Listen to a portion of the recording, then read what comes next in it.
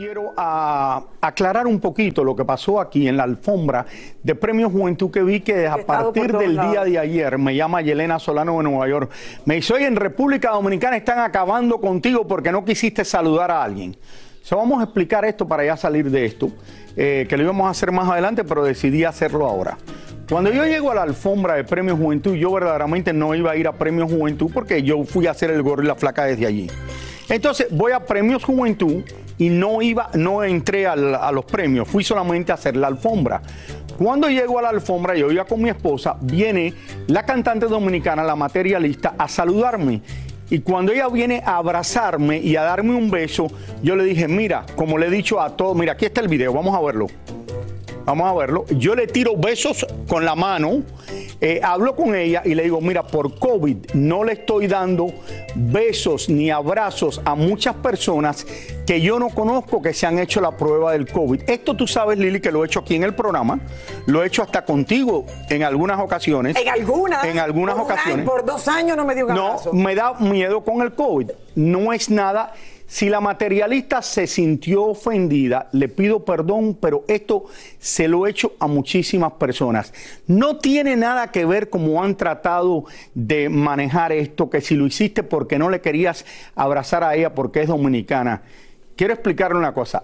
Primero, como yo quiero al pueblo dominicano, y de eso les voy a hablar un poquito más adelante, pero vamos a ver, sea cubana, china, americana se lo he hecho a miles de personas porque me preocupo por el COVID. ¿Por qué estaba sin máscara? Porque era afuera. Ahora los que están diciendo de muchas estaciones pequeñas de radio que se han puesto a criticar y no ven lo bueno que uno hace a través de la vida. Primero, no voy, ni ahora en adelante tampoco voy a abrazar a ninguna persona si yo pienso que no debo hacerlo por el COVID. Pero primero vamos a por parte. Dice, no, que tú abrazaste a Carlos Ponce todo el mundo que trabajaba en esa alfombra para Univisión tenía que haberse hecho una prueba del COVID-19, si no, no podían estar allí.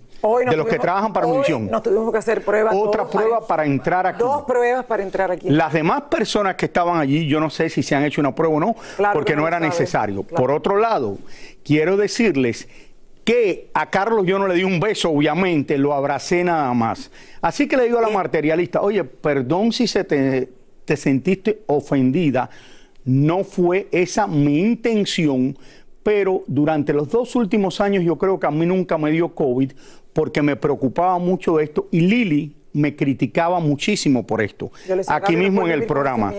Yo a todos lados cuando se necesitaba máscara iba con máscara eh, no le daba besos a casi nadie que yo no conociera. Y una de las peleas más grandes que yo tengo con mi esposa es que íbamos a un restaurante o algún lugar y ella venía y saludaba a alguien, le daba un beso, venía alguien y le daba un beso a ella. Tanto que en una cena en casa de mi abogado viene un doctor que nos conoce y abraza a Milly. Y yo me le digo, pero como tú le estás abrazando a mi esposa con el problema que hay del COVID, no, yo estoy vacunado. El hombre se puso bravo, la gente se pusieron bravos. Entonces es algo que he hecho en muchas ocasiones y pienso que lo voy a seguir haciendo. Señores, porque de verdad que esto del COVID no se ha terminado y a mí me dio en España después de que ya mi última vacuna había estado como ocho meses atrás. Y tú viste que ahora el mismo presidente de los Estados Unidos tiene COVID y tiene las cuatro vacunas puestas. Claro, yo creo, Raúl, que lo más importante es que todos entendamos la posición de cada persona. Hay gente que sigue con mucha ansiedad con lo del COVID y hay que respetarlo. Yo te criticaba todo el tiempo y te decía, Raúl, no tengas tanto miedo, pero también siempre te entendí, Raúl, y nunca me enojé por eso porque sabía que a Raúl eh, le preocupaba mucho más que a mí. Por otro lado, esto lo manejaron en las redes sociales, que si uno le estaba haciendo algo a una artista dominicana, con lo que yo quiero al pueblo dominicano, déjeme explicarle. Cuando yo me fui de vacaciones, después de estar encerrado en mi casa, que estuvimos haciendo el programa el primer año del COVID, desde mi casa hasta julio, el único lugar que yo fui de vacaciones fue a casa de campo. No fui en una ocasión, fui en tres, ocasiones diferentes, porque me pensé que yendo a casa de campo, que es cerca de Miami, y me quedaba dentro de la casa, no tenía problema. La gente que estaban trabajando allí se hacían el COVID test antes de empezar a trabajar y no salían de la casa por una semana o diez días que estaban. Entonces, todo el mundo que siempre me dice, oye, gracias por apoyar tanto a la República Dominicana, ahora que salgan eh, publicistas y gente de estaciones de radio pequeñas diciendo, no, porque este, ¿de qué están hablando? No lo entiendo de verdad. Bueno, porque una cosa no tiene nada que ver con la otra porque todo se cambia, todo se mezcla con algo que ya no tiene que ver. Eh, y yo creo que lo principal es que sepamos que existe el COVID todavía, que hay que seguirse cuidando lo que podamos. Eh, por cierto. Y, que han subido, estamos en un momento justo, Raúl, en que han subido mucho los casos y, y que hay que entender a cada persona con la ansiedad que tenga, el miedo o no miedo todos tenemos que Uno de los mismos productores que trabaja con nosotros aquí en el Gorri La Flaca, que estaba en Puerto Rico, no puede estar en el trabajo hoy porque estaba en el hospital cuando llegó, que le dio COVID y se sintió muy mal. Gracias a Dios yo me hice la prueba, no me dio COVID eh, esta mañana para poder entrar en Univisión y por eso estoy preocupado. Carlos Ponce se había hecho la prueba. Por otro lado, yo no pensaba ni ir a la alfombra. Hice la alfombra, caminé y me fui. La productora que hacía la alfombra, terminó de hablar con ella por la mañana, no pudo hacer la alfombra porque se tuvo que quedar encerrada en su cuarto porque le dio COVID. Claro. Así que a la materialista, materialista te pido de verdad disculpas si te sentiste ofendida, eh, pero esa no fue mi intención. Tuviste en el video que te tiro besos, abrazos. Lo único que no te di un abrazo, como no se lo doy a muchísima gente. Raúl, me encantaría tenerla con nosotros en algún momento, eh, invitarla, eh, nada, y que sepa que la queremos, que la adoramos y que nada, esto fue un malentendido, yo creo. Y, eh, le deseo suerte a todo el mundo. No, no creo que, ha traído, mucha división en familias. No, no creo que es un malentendido. creo que mucha gente tratan de usar esto para cambiarlo. Yo no creo que tuvo ningún problema. Para cambiar las cosas, como hace mucho a través de las redes sociales. Oí una persona diciéndome, ay, Vamos a protestarle a Instagram para que le cancelen la, cuenta a Raúl de Molina. ¿Ustedes piensan que Instagram me va a cancelar la cuenta a mí? Lo único que tengo que hacer en Instagram es decirle, oye, ¿qué yo hice? Yo no hice nada malo. Así que lo vuelvo a decir, si alguien se sintió ofendido, le pido perdón no fue mi intención, pero si alguien viene y lo piensan dos veces, que vienen a darme un beso y un abrazo, y no los conozco que trabajan conmigo, no los voy a dar ni un beso ni un abrazo. Y a todos los dominicanos los quiero con todo mi corazón y ustedes lo saben a través de los casi 24 años que este programa lleva en el aire. Ya no voy a hablar más de eso. Señores, hasta hace unos meses Andrés García consideraba dejarle su herencia a Roberto Palazuelos. Bueno, es que hace años que son muy amigos. Ahora no lo quiere ver ni en pintura. Vamos a ver lo que está pasando con esto. Andrés García explotó contra Roberto Palazuelos, quien según él lo ha dejado desamparado ahora que más necesita de su apoyo. Sí vi las declaraciones del señor Andrés García, me parecen muy desafortunadas. Uno, porque yo nunca lo he mandado a amenazar, ni nunca en mi vida con ningún familiar de él he hablado mal de él, ni con la prensa ni con nadie. Yo me alejé del señor Andrés porque un día me dijo que yo lo trataba como viejito y lo cuidaba de más. Te reta a balazos, Que te pedí que me dejaras pasar. Solamente, ¿qué opinas que te reta a balazos? te reta a balazos Bueno, eso, eso, no estamos en el viejo este, por favor. ¿Tú crees que un señor como yo, padre de familia, abogado, empresario, se va a meter en una situación así? Les pido de favor que me dejen pasar, o sea, respetuosamente se los pedí. Ya déjenme pasar, déjenme pasar.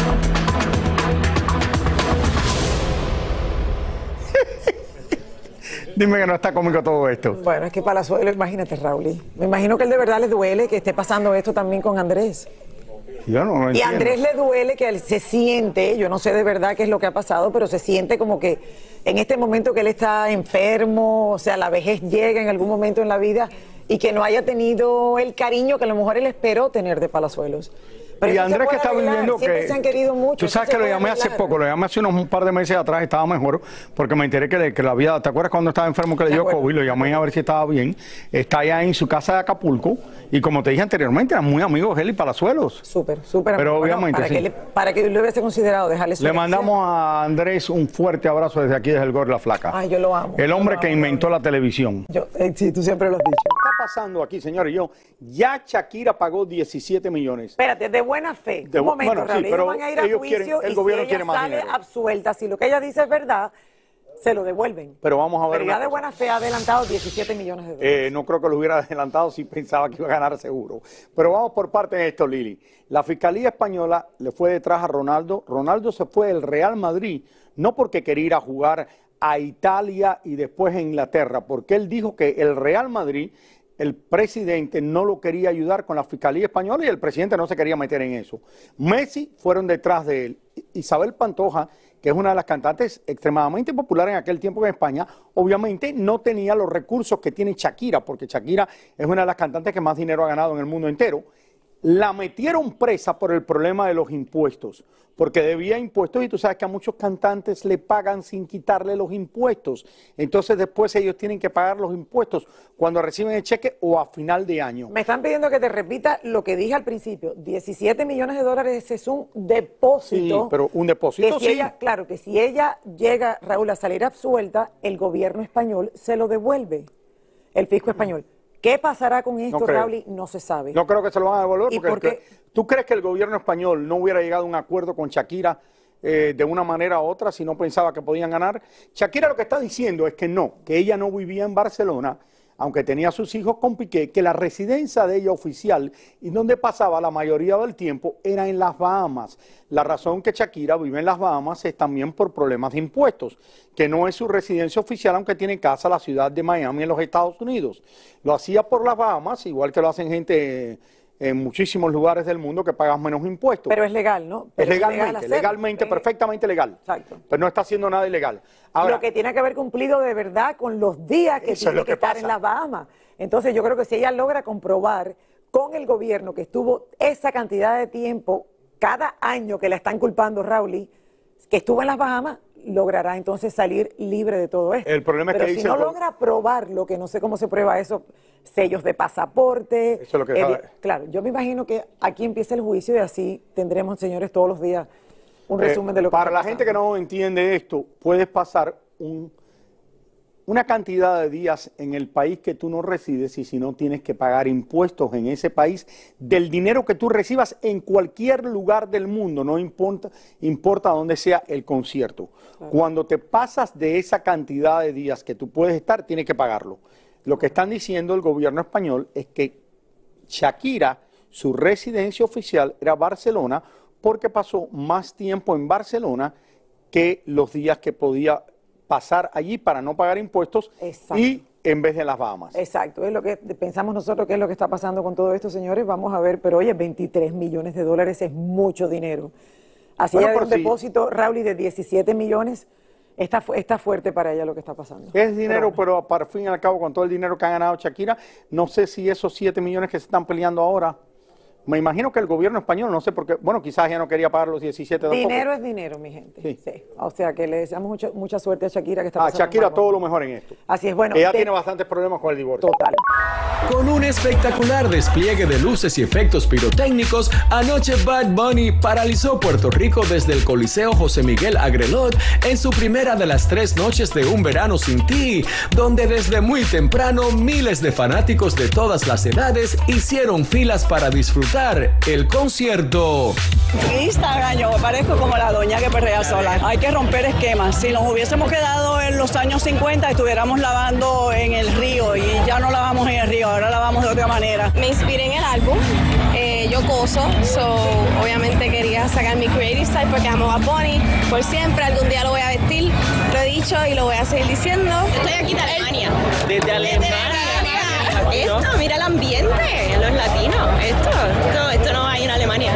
El conejo malo compartió tarima con varios amigos, entre ellos Chenko Corleone, Arcángel, Jay Cortés, Tommy Torres, Tony Dice, Joel y Randy, entre otros. Además, aprovechó el momento para enviarle un mensaje al gobierno de Puerto Rico.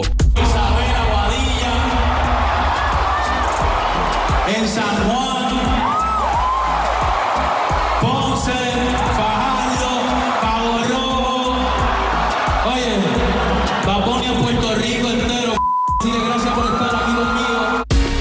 Verano Sin Ti se extendió a 13 localidades alrededor de la isla del encanto, donde desde pantallas gigantes los fanáticos del conejo malo pudieron corear y bailar sus temas. Una de ellas se colocó a las afueras de la iglesia de la Plaza Vega Baja, a pesar de que el párroco estuvo en desacuerdo.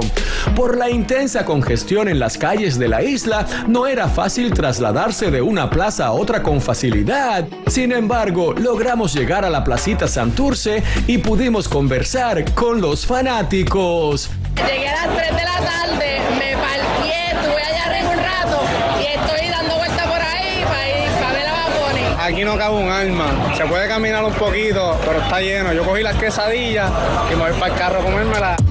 Bad Bunny interpretó cerca de 30 canciones en este concierto histórico que duró más de 3 horas y media ante más de 18 mil personas.